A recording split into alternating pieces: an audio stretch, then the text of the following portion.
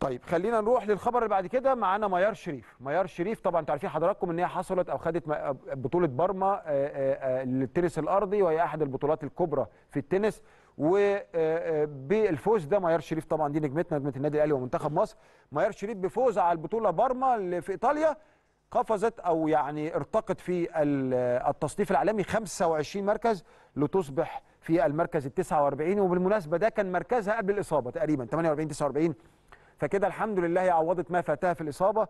ميار الحقيقة آه، كسبت المصنفة السابعه عالميا اليونانية آه، ماريا سكاري في النهائي بمجموع بمجموعتين لما فيش 7 5 6 3 يعني مش بطولة سهلة. النهائي كان مع المصنفة السابعه آه، عالميا. ميار شريف كانت عملت بطولة تاريخية بعد فوزها طبعا على لعيبة كتير ووصولا للنهائي زي ما قلت لحضراتكم. والحقيقة شفنا يعني استقبال كبير ليها في مطار القاهرة بعد عودتها. ألف مبروك يا ميار وإن شاء الله مزيد من التوفيق وإن شاء الله عايزين ارتقاء أكتر في هي خلاص دخلت في التوب 50 هي دلوقتي في في التصنيف 49